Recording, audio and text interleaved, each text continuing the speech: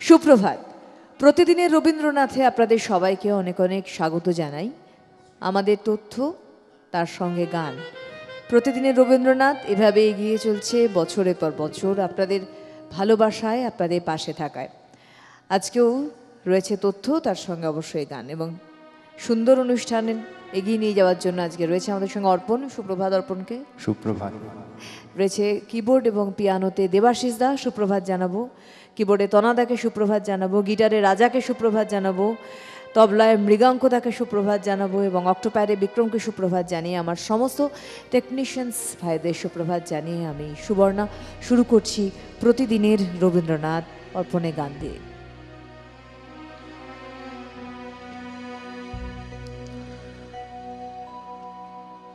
জাগো।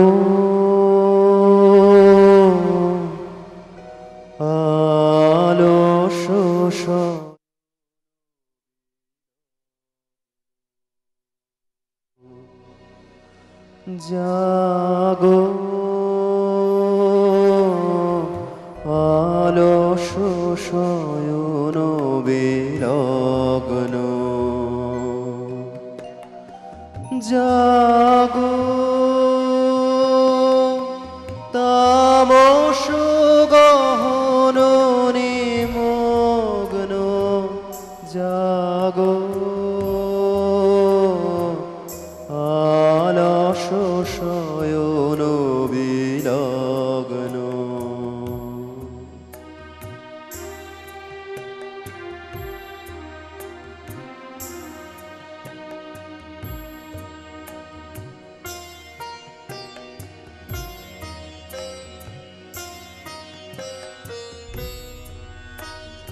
धोतु कोरु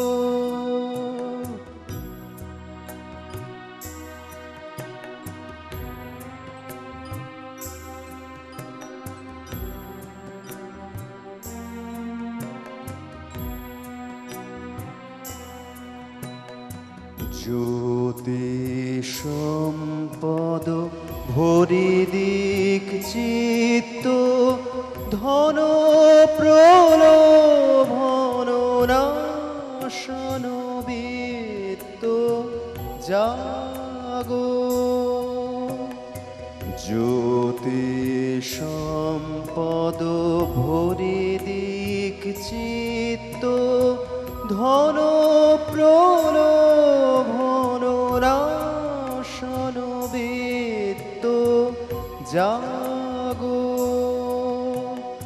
পুণ্য বসন পর লজ্জিত নগ্ন জাগো।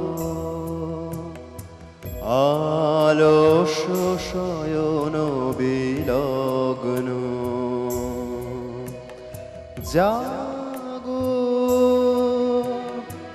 জাগো আলস শয়ন বিলগ্ন। জাগো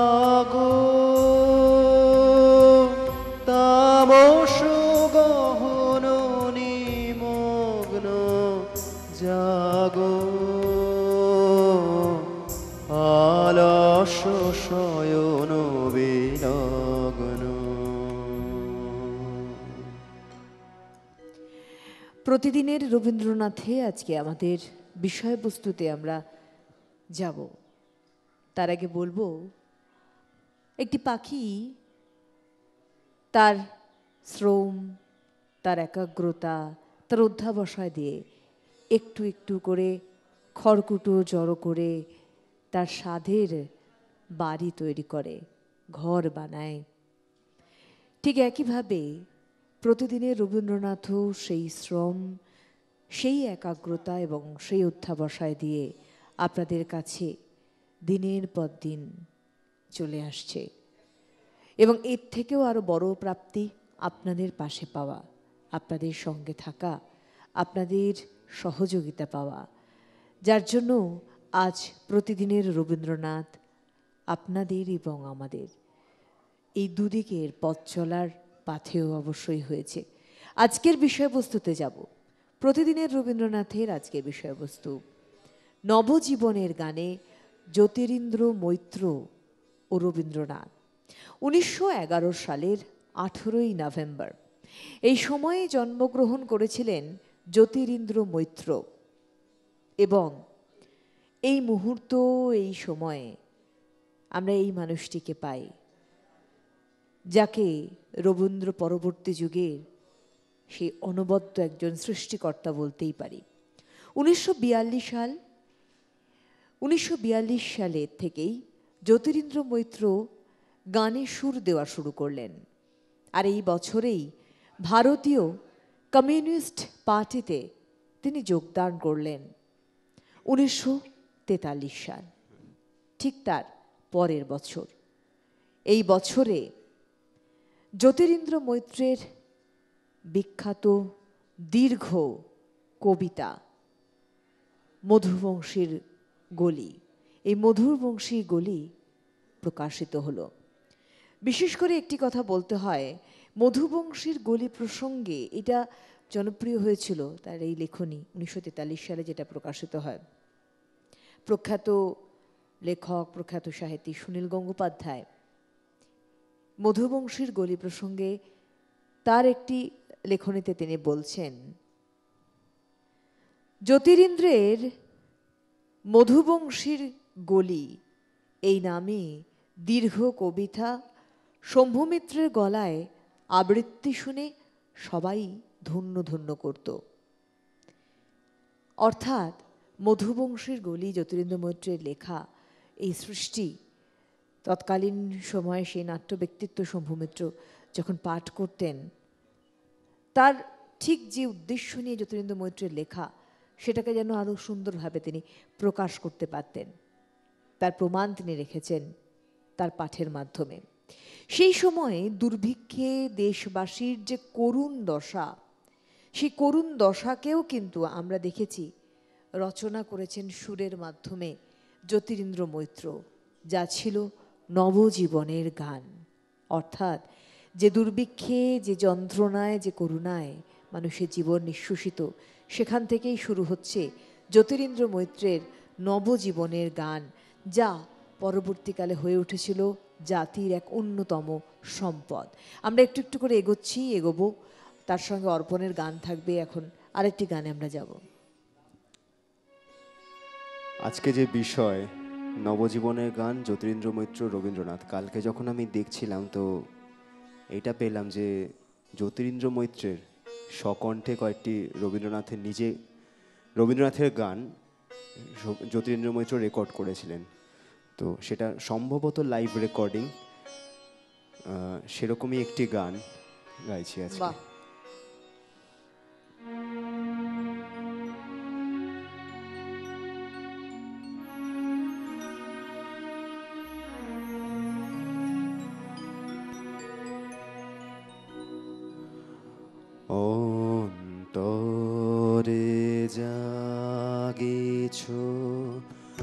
অন্তর জামে অন্তর জামে তবু সদা দূরে ভ্রমিতেছে আমি।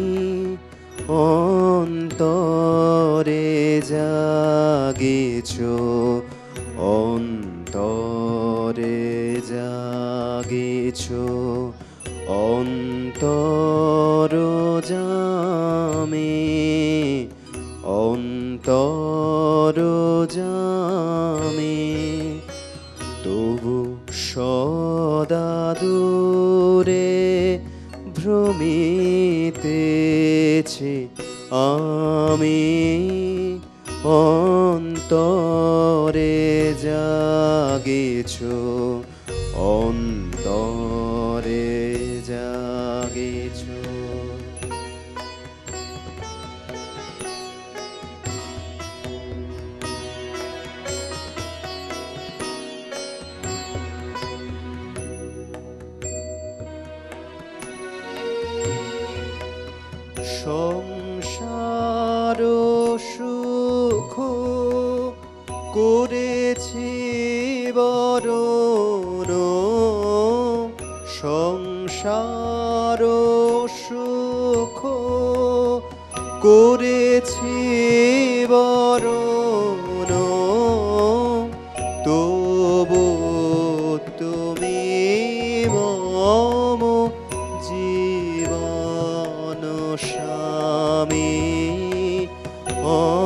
অন্তরে জাগেছ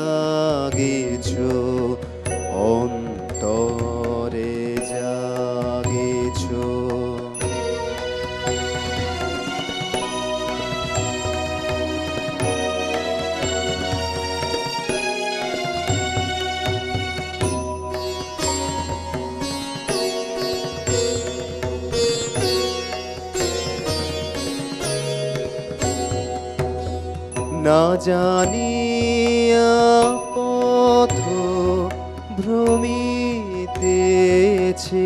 পথে। আপন গরবে অসীম যততে। না জানিয়া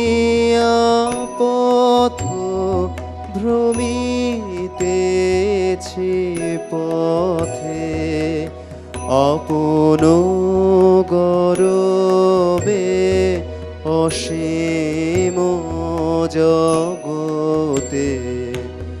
তবু স্নেহ নেত্র জাগে ধ্রুব তারা। তবু স্নেহ নেত্র জাগে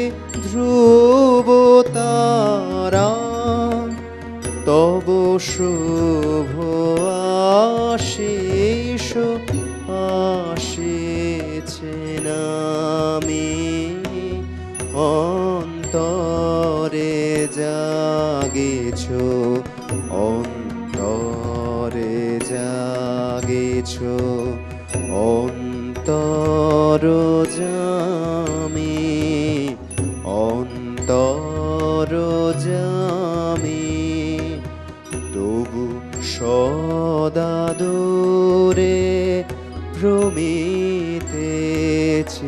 আমি অন্তরে জাগেছ অন্তরে জাগেছ। উনিশশো সাল। এই সময়ে রচিত হলো জ্যোতিরেন্দ্র মৈত্রের আরেকটি বিখ্যাত গান এবং এই গানের প্রথম দুটি লাইনের মধ্যে একটি হলো এসো মুক্ত করো মুক্ত করো অন্ধকারের এই দ্বার।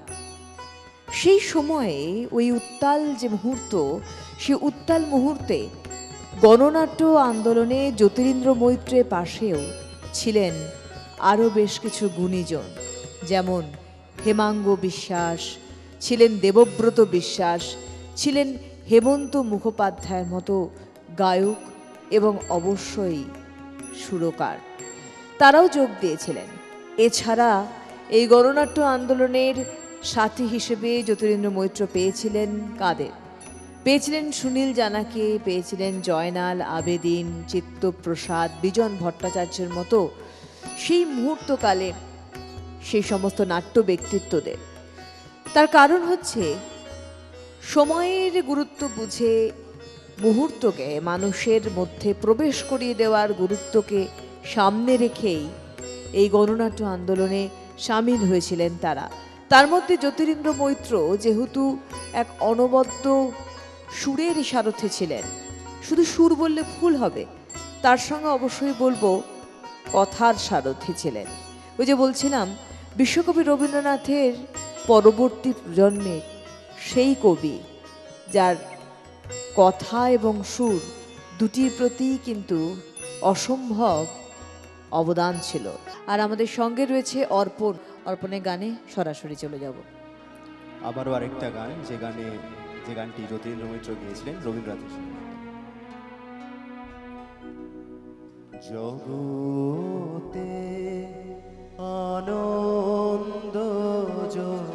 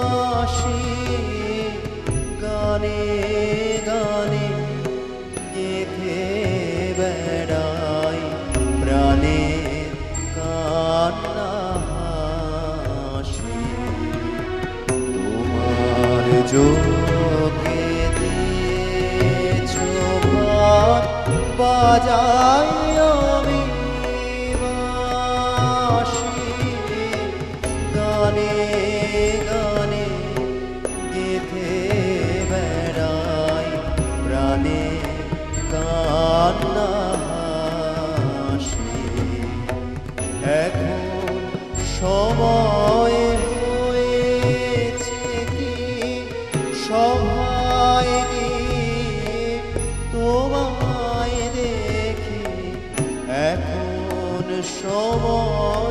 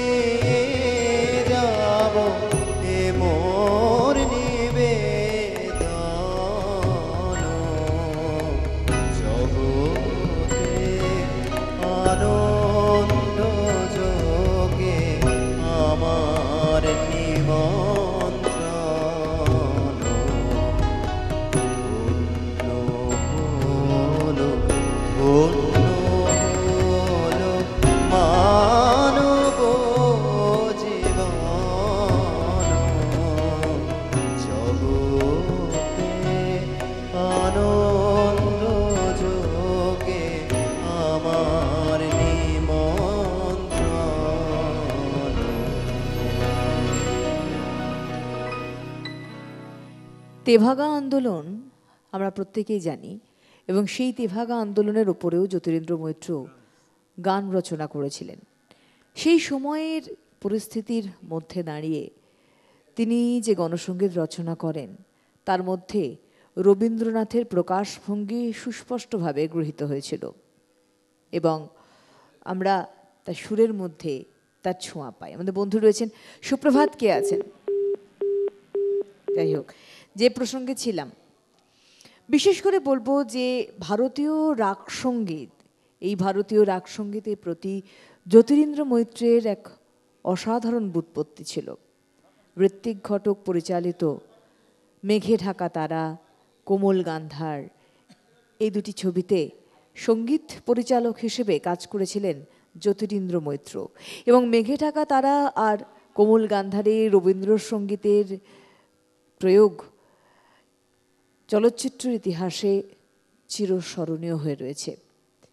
তার রবীন্দ্রনাথের গানের প্রতি টান ভালোবাসা। তাকে রবীন্দ্রনাথের উত্তরসূরিদের মধ্যে এক উজ্জ্বল নক্ষত্রে পরিণত করেছিল। আজকে সেই উজ্জ্বল নক্ষত্রকে নিয়ে আমরা এগোচ্ছি। আর একটি গানের পর আমরা আসব আলোচনায়।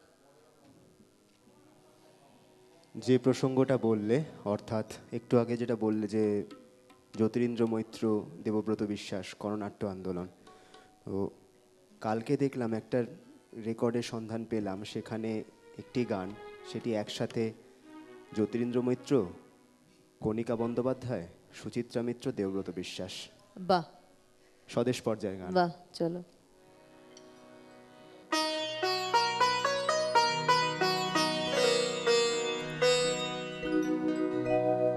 দেশ দেশ নন্দিত করে মন্দ্রিত তব ভেরি। আসলো যত বীর বৃন্দ আসন তব ঘেরে দিনগত হয়ে ভারত তবু বই দিন আগত সে কি রহিল লুপ্ত? আজ সব জন পশ্চাতে, লোক বিশ্ব কর্ম ভার, মিলি সবার সাথে। প্রেরণ কর ভৈরব তব দুর্জয়। আহ্বান হে জাগ্রত ভগবান, হে জাগ্রত ভগবান।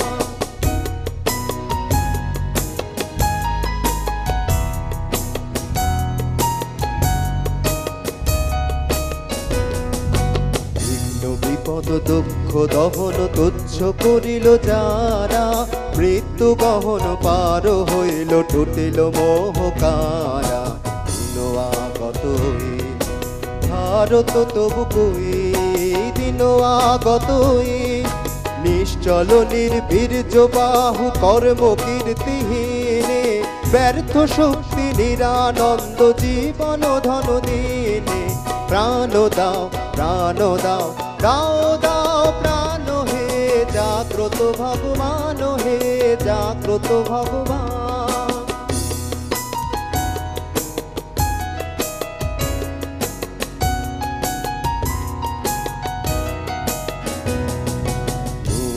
যোগ সূর্য উঠিল, ছুটিল তিমির রাত্রি। তব মন্দির অঙ্গন ভরে মিলিল সফল যাত্রী। ভারত তবু কই? দিন আগত হই গত গৌরব ঋত আসন নত মস্তক লাজে গ্লানি তার মোচন কর নর সমাজ মাঝে। স্থান দাও স্থান দাও দাও দাও, স্থান হে জাগ্রত ভগবান, হে জাগ্রত ভগবান।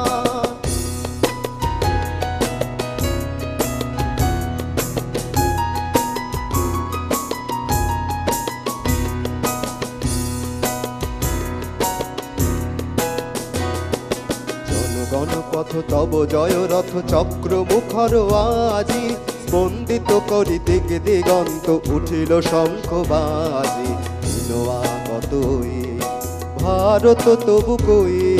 দিন আগতই দৈন্য জীর্ণ কক্ষ, তার মলিন শীর্ণ আশা। রাসরুদ্ধ চিত্ত, তার নাহি নাহি ভাষা। কোটি মৌন কণ্ঠ, পূর্ণ বাণী কর দান জাগ্রত ভগবান হে, জাগ্রত ভগবান।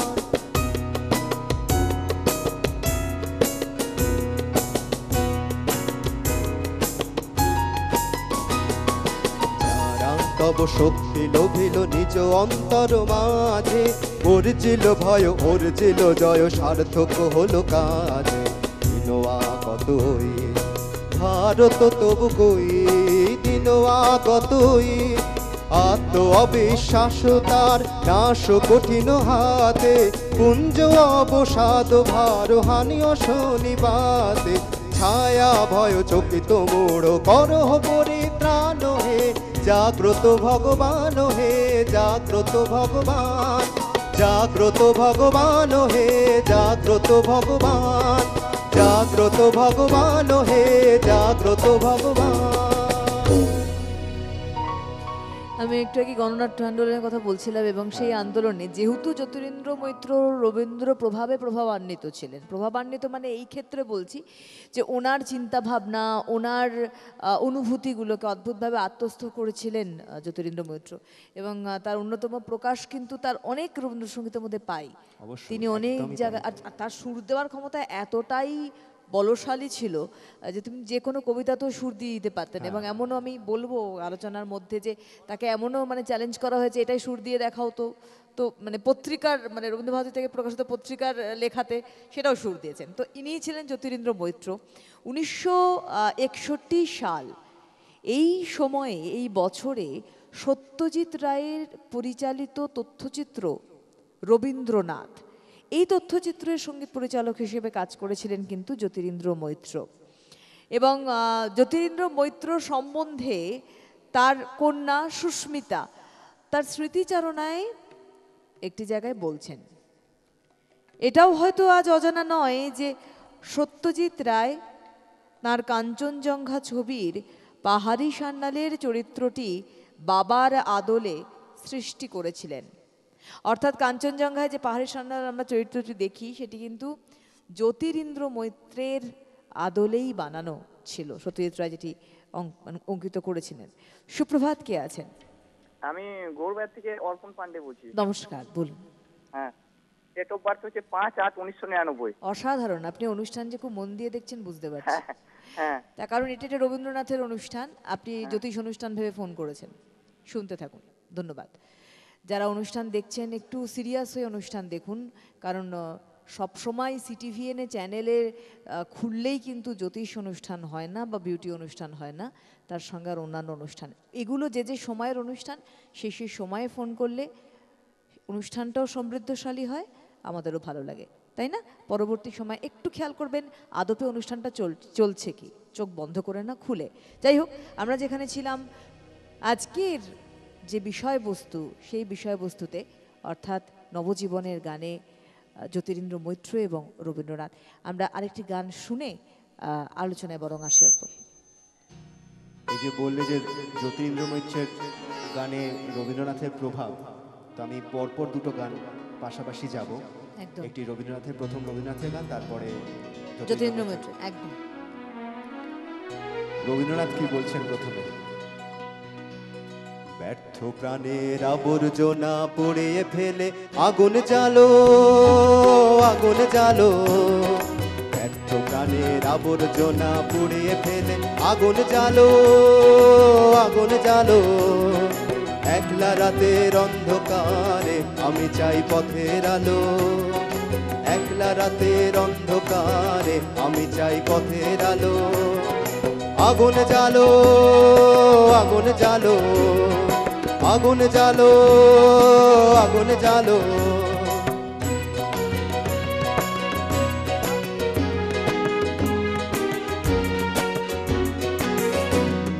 দুন্দুভিতে হলো রে কার আঘাত শুরু। বুকের মধ্যে উঠল বেজে গুরু গুরু গুরু গুরু। দুন্দুভিতে হলো রে কার আঘাত শুরু। বুকের মধ্যে উঠল বেজে, গুরু গুরু গুরু গুরু। পালায় ছুটে শক্তি রাতের স্বপ্নে দেখা মন্দ ভালো। আগুন জালো আগুন জালো প্রাণের আবর্জনা পুড়িয়ে ফেলে, আগুন জালো আগুন জ্বালো।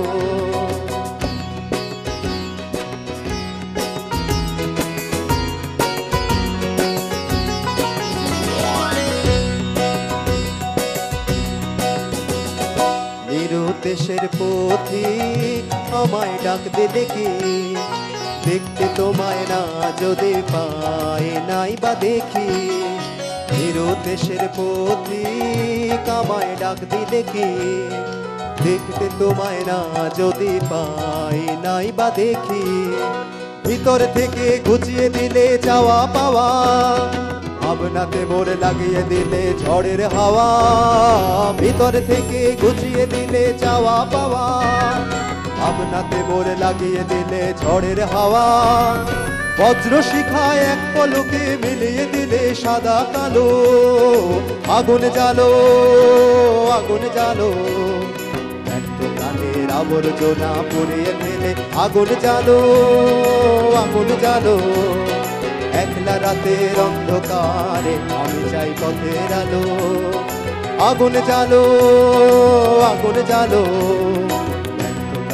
আবর্জনা পুড়িয়ে ফেলে, আগুন জ্বালো আগুন জ্বালো। আগুন জ্বালো আগুন জ্বালো। আগুন জ্বালো আগুন জ্বালো। এই গানের সঙ্গে, এই যে ব্যর্থতার অন্ধকার থেকে আলোর পথে আসা। পরবর্তীকালে জ্যোতিরিন্দ্র মৈত্র লিখছেন, এসো মুক্ত করো মুক্ত করো অন্ধকারের এই দ্বার। এসো মুক্ত করো মুক্ত করো অন্ধকারের এই দ্বার। এসো শিল্পী, এসো বিশ্বকর্মা, এসো স্রষ্টা। রসরূপ মন্ত্র দ্রষ্টা। ছিন্ন করো ছিন্ন করো, বন্ধনের অন্ধকার। মুক্ত করো মুক্ত করো, অন্ধকারের এই এসো মুক্ত করো মুক্ত করো, অন্ধকারের এই দ্বার।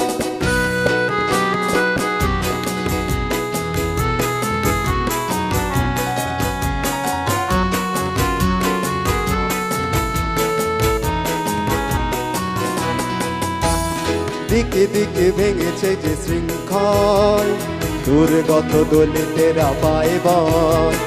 দিকে দিকে ভেঙেছে যে শৃঙ্খল, দুর্গত দলিতেরা পায় বল। এ শুভ লগনে তাই তোমার স্মরণ করি রূপকার। এ শুভ লগনে তাই তোমার স্মরণ করি রূপকার। এসো মুক্ত করো হে দ্বার, এসো মুক্ত করো। মুক্ত করো অন্ধকারের এই দ্বার। এসো মুক্ত করো মুক্ত করো অন্ধকারের এই দ্বার।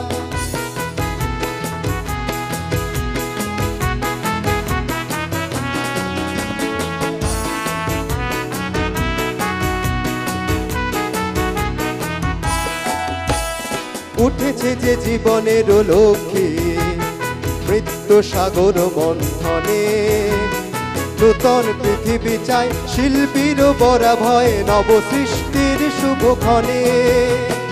উঠেছে যে জীবনের লক্ষ্মী, মৃত্যু সাগর বন্ধনে, নূতন পৃথিবী চাই শিল্পীর বরা ভয় নব সৃষ্টির শুভক্ষণে। এসো সমিতির সামনে ঐক্যে এসো জনতার মুখরিত সখ্যে এসো সমিতির সামনে ঐক্যে, এসো জনতার মুখরিত সখ্যে এসো দুঃখ তিমির ভেদি দুর্জম সংসে, নিষ্ঠুর ভয় করি চূর্ণ, এসো দুঃখ তিমির ভেদি দুর্গম ধ্বংসে, নিষ্ঠুর ভয় কর চূর্ণ, এসো প্রাণের ভবন কর পূর্ণ, এসো মুক্ত করো। মুক্ত করো, অন্ধকারের এই দ্বার। এসো মুক্ত করো মুক্ত করো, অন্ধকারের এই দ্বার। এসো মুক্ত করো মুক্ত করো, অন্ধকারের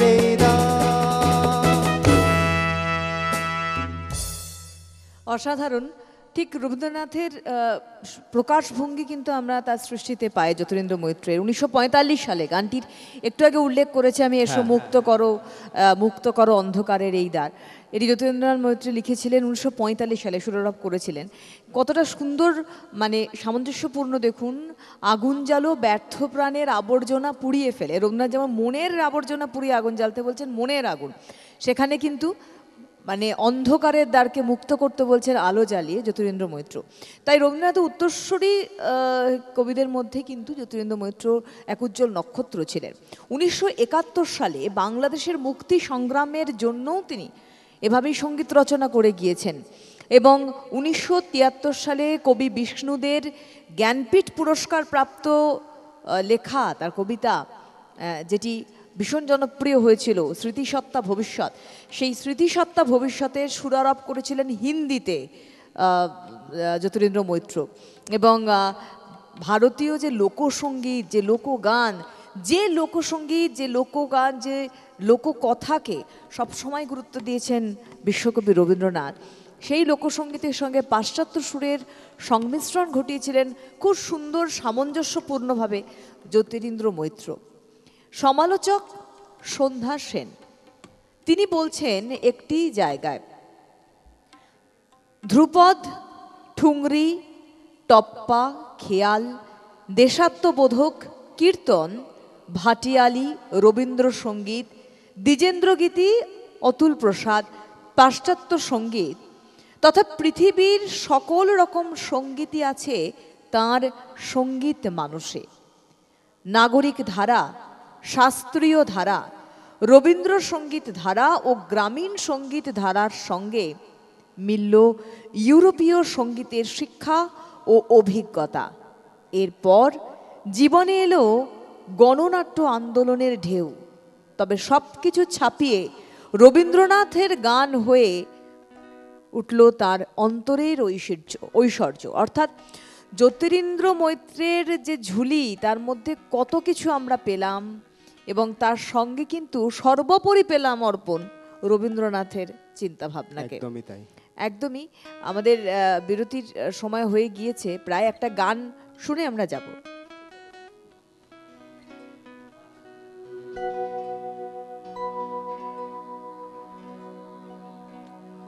বিচিত্র পর্যায়ের একটা গান একবার একটু গাই।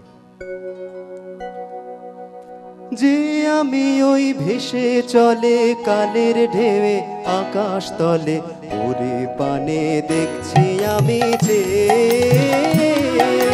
যে আমি ওই ভেসে চলে কালের ঢেউে আকাশ তলে, ওরে পানে দেখছি আমি যে। ধুলার সাথে, জলের সাথে, ফুলের সাথে, ফলের সাথে, সবার সাথে। সবার সাথে চলছে ও যে যে আমি ওই ভেসে চলে, কালের ঢেউ, আকাশ তলে ওরে পানে দেখছি আমি যে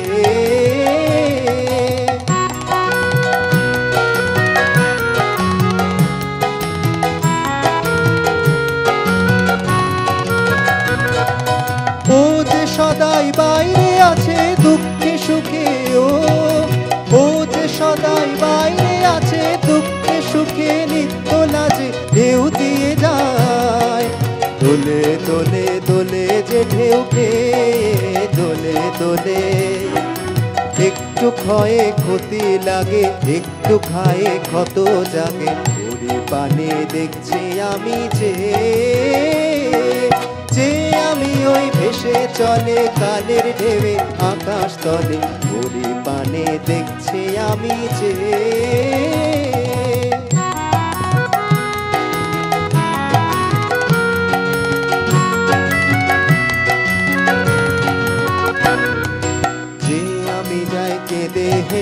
তাল দিতেছে মৃদঙ্গে সে অন্য আমি অন্য আমি উঠতেছি গান গেয়ে, অন্য আমি। ও যে সচল ছবির মতো, আমি নীরব কবির মতো ওরি পানে দেখছি আমি যে।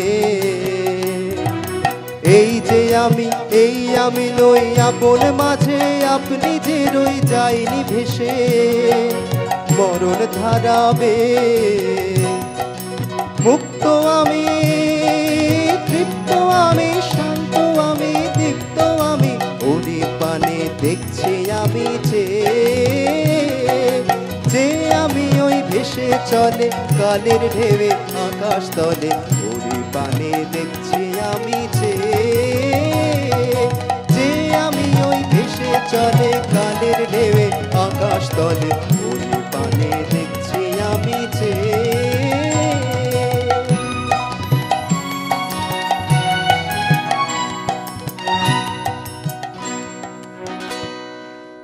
আমরা রয়েছি আজকে আমাদের বিষয়বস্তুর ওপরে। নবজীবনের গানে জ্যোতিরিন্দ্র মৈত্র এবং রবীন্দ্রনাথ, আমরা এই তথ্যের মধ্যে রয়েছি।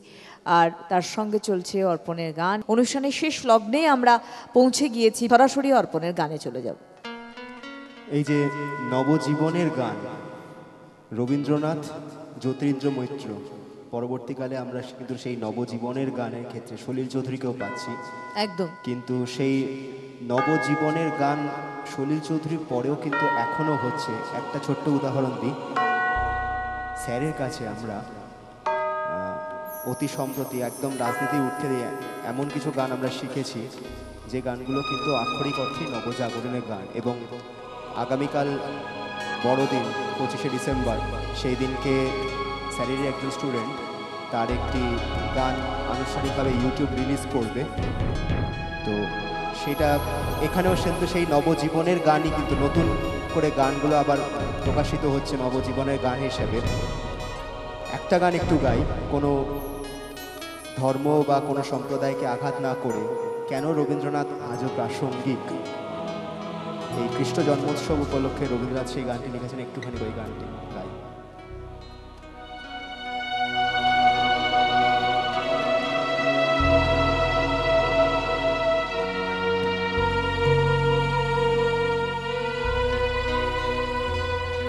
একদিন যারা মেরেছিল তারে গিয়ে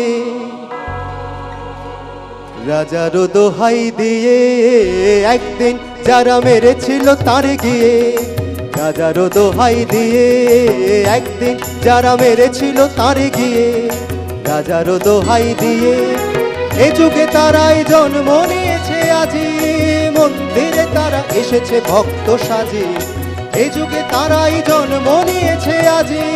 মন্দিরে তারা এসেছে ভক্ত সাজে।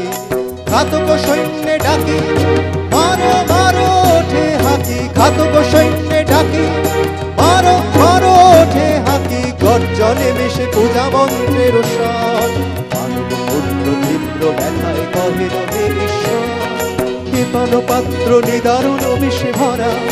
এপানো পাত্র নিদারুণ বিষে ভরা। দূরে ফেরে দাও, দূরে ফেলে দাও তরা। একদিন যারা মেরেছিল তারে গিয়ে রাজার দোহাই দিয়ে। একদিন যারা মেরেছিল তারে গিয়ে রাজার দোহাই দিয়ে।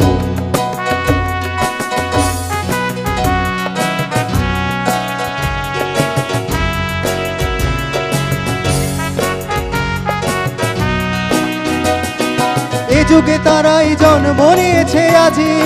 মন্দিরে তারা এসেছে ভক্ত সাজে। এ যুগে তারাই জন্ম নিয়েছে আজি। মন্দিরে তারা এসেছে ভক্ত সাজে। ঘাতক সৈন্যে ডাকি, মারো মারো, ওঠে হাতি। ঘাতক সৈন্যে ডাকি, মারো মারো, ওঠে হাতি। গর্জনে মেশি পূজা মন্ত্রের সব মানব পুত্র তীব্র ব্যথায় কহে রবে বিশ্ব এপানো পাত্র নিদারুণ বিষে ভরা এপানো পাত্র নিদারুণ বিষে ভরা দূরে ফেলে দাও, দূরে ফেলে দাও তারা। একদিন যারা মেরেছিল তারে গিয়ে রাজার দোহাই দিয়ে। একদিন যারা মেরেছিল তারে গিয়ে রাজার দোহাই দিয়ে। একদিন যারা মেরেছিল তারে গিয়ে রাজার দোহাই দিয়ে। একদম বাস্তব বিষয়। রবীন্দ্রনাথ প্রাসঙ্গিক এখনও এই কারণে। জ্যোতিরিন্দ্র মৈত্রের কথা বলছিলাম। প্রকৃতপক্ষে জ্যোতিরিন্দ্র মৈত্রকে আমরা রবীন্দ্র পরবর্তী যুগের কবি বলতে পারি। তার কারণ হচ্ছে, গানের সুর দেওয়াতে তিনি সমান পারদর্শী ছিলেন। কারণ রবীন্দ্রনাথের মতোই কবিতার ভাষা এবং পাশাপাশি গানের ভাষায় সমান পারদর্শী এবং অধিকারী ছিলেন জ্যোতিরেন্দ্র মৈত্র। জ্যোতিরেন্দ্র মৈত্র লিখছেন, একেবারে বাল্যকাল থেকেই আমি রবীন্দ্রসঙ্গীতের আবহাওয়ায় পুষ্ট হয়েছি। ঠাকুরবাড়ির অনেকের কাছেই রবীন্দ্রসঙ্গীত শেখার সুযোগ হয়েছিল আমার। বিশেষ করে ইন্দিরা দেবী এবং সরলা দেবীর কাছে। আর মনে পড়ে দীনেন্দ্রনাথকে।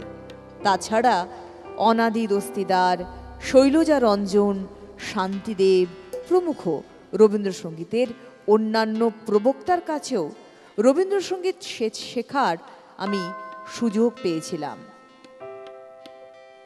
তিনি নিজের যে স্মৃতিচারণ করেছেন, সেখানে তিনি যে কতটা আপ্লুত ছিলেন, রবীন্দ্রনাথের চিন্তা ভাবনায় প্রভাবান্বিত ছিলেন। তার সৃষ্টির মধ্যে কোথাও যেন তার অজান্তেই বারবার করে ঘুরে ফিরে রবীন্দ্রনাথ চলে এসেছেন। কখনো কথার বাঁধুনিতে, কখনো সুরের মূর্ছনায়। আবারও আসব গানের পর। আসলে বড়দিনের আবহে ঢুকে পড়েছি তো, তাই পরের গানটা সেরকম একটি গান গাই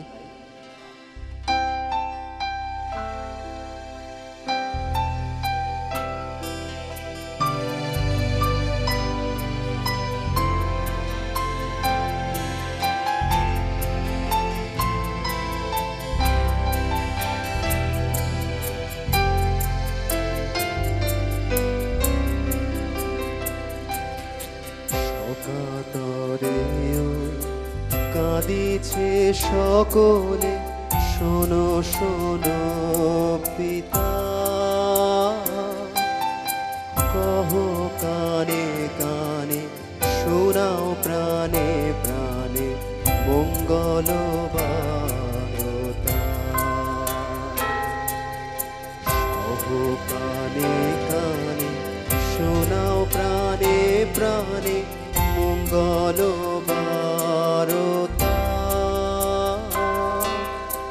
কহ কানে কানে শোনাও প্রাণে প্রাণে মঙ্গল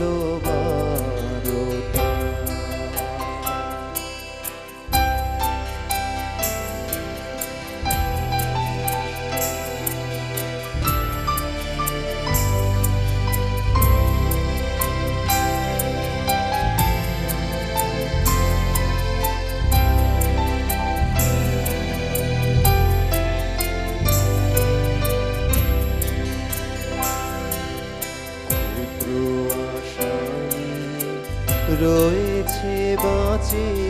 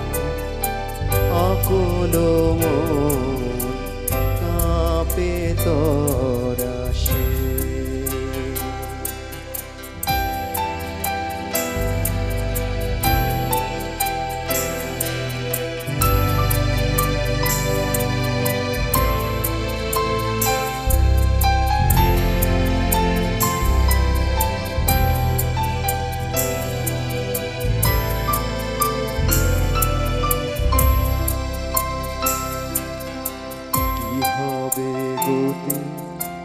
বিশ্বপতি শান্তি কোথা আছে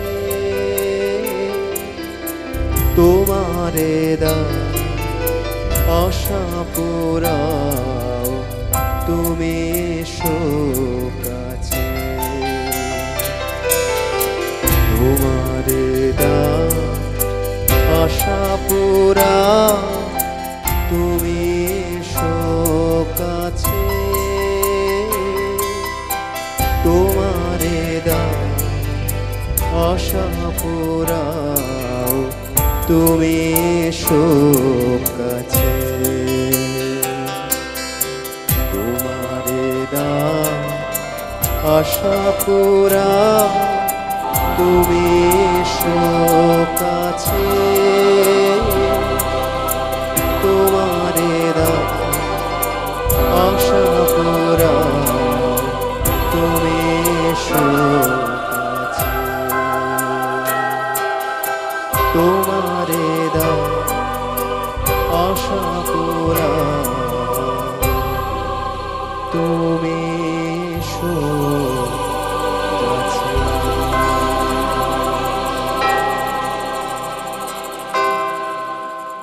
রবীন্দ্রসঙ্গীত প্রসঙ্গে জ্যোতিরিন্দ্র মৈত্র বলছেন, রবীন্দ্রসঙ্গীতের ভেতরে ঢুকতে হলে কাব্য ও সাহিত্য বোধ এবং বিশেষভাবে রবীন্দ্র সাহিত্যের সঙ্গে পরিচয় থাকা দরকার। সেই জন্য আমার মনে হয়, এ গান শেখাবার আগে নির্দিষ্ট সময়ের রবীন্দ্র সাহিত্যের পাঠ্যক্রম অধ্যয়ন করা উচিত।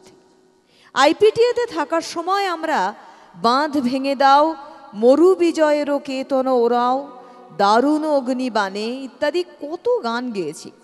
আর গাইতে গাইতে উপলব্ধি করেছি রবীন্দ্রসঙ্গীতের দারুণ দীপ্তি। রাবীন্দ্রিক বলতে আমি বুঝি, রবীন্দ্র বোধ। এই বোধ মানে যে কোনো সমৃদ্ধ সংগীত ধারার নিজস্ব রূপকে যথার্থ রাখতে হলে ক্লাসিক্যাল গানের শিক্ষা ও ভিত্তি থাকা দরকার।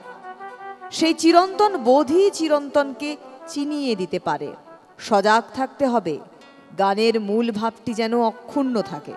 এত বড় এক বিশাল ঐশ্বর্যের মর্যাদা রাখার দায়িত্ব সম্বন্ধে সকল গায়ক গায়িকাকেই সচেতন থাকা দরকার। এ দায়িত্ববোধ কোনো মতেই শিথিল হওয়া বাঞ্ছনীয় নয়। কার এক্সপ্রেশন সচ্চা আর কার ঝুটা কালের কোষ্ঠী পাথরেই তার যাচাই হয়ে যাবে। কত সুন্দরভাবে ব্যাখ্যা করেছেন। রাবীন্দ্রিক মানেই জ্যোতিরেন্দ্র মৈত্রের জ্যোতিরেন্দ্র মৈত্রের কাছে কিন্তু রবীন্দ্র বোধ, যাকে জাগরিত রাখতে বলেছেন সর্বকালের মানুষের ক্ষেত্রে। আরেকটি গানে আমরা যাব।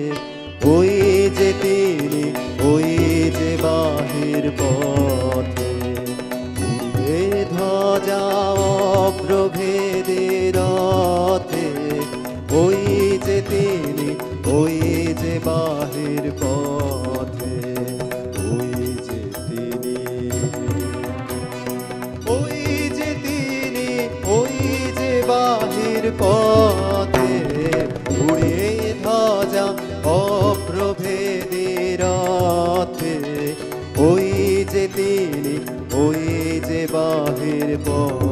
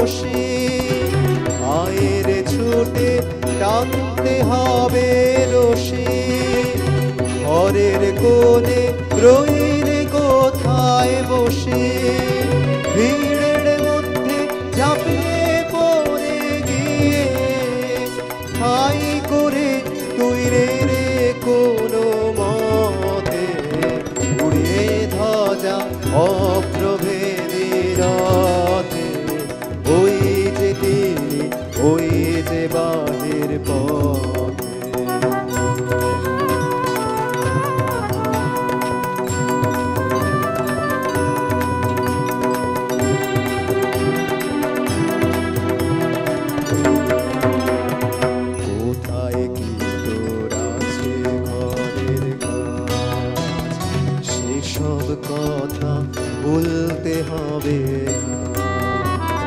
কোথায় কি আছে ঘরের কাজ সেসব কথা বলতে হবে।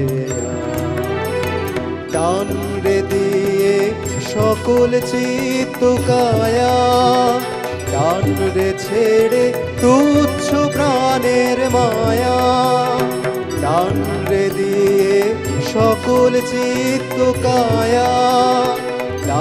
রে ছেড়ে তুচ্ছ প্রাণের মায়া। চল টেনে আলোয় অন্ধকারে নগর গ্রামে অরণ্যে পর্বতে উড়িয়ে ধ্বজা অপ্রভেদে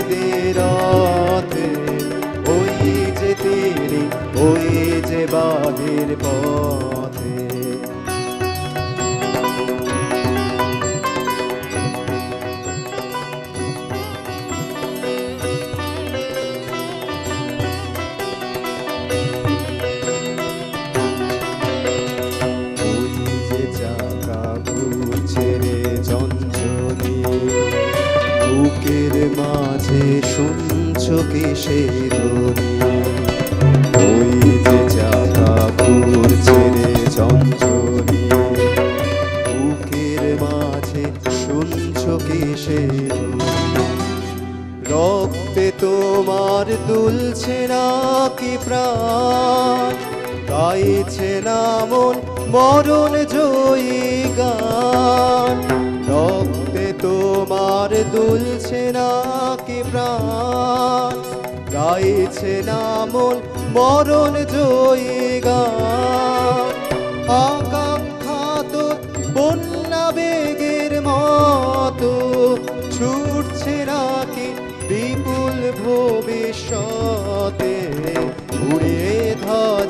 অপ্রভেদে রথে ওই যে তিনি ওই যে বাহির পথে, ওই যে তিনি।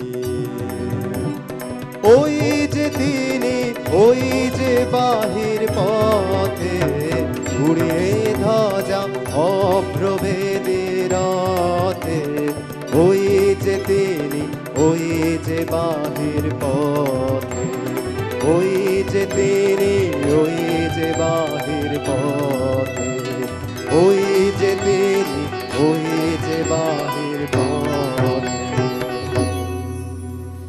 অলোক রঞ্জন দাশগুপ্ত বলছেন, কি একটা প্রবাসী বঙ্গ সাহিত্য সম্মেলন থেকে বিজন ভট্টাচার্যকে নিয়ে কলকাতায় ফেরার মুখে রেলে দিতে গিয়ে সত্যি বলতে অখণ্ড গীতবিতানি নিঃশেষিত। এবং এমন সময় বিজনদা বিশ্বভারতী পত্রিকার সংখ্যা হাতে তুলে দিয়ে বললেন, কই, এটাই সুর দাও তো, বটুকদা সুর দিলেন, অর্থাৎ জ্যোতিরিন্দ্র মৈত্র। এতটাই তিনি গুণী মানুষ ছিলেন। রবীন্দ্র ভাবনায় ভাবান্বিত ছিলেন, রবীন্দ্র প্রেমী মানুষ ছিলেন, রবীন্দ্রনাথকে ভালোবেসেছিলেন। তাই তার এই সৃষ্টির সম্ভার পায় আজ আমাদের তাকে নিয়েই পথ চলা, এ পর্যন্তই। অনেক ধন্যবাদ অর্পণকে। ধন্যবাদ আপনাদের জানিয়ে আগামীকালের অপেক্ষায় অবশ্যই থাকতে বলব।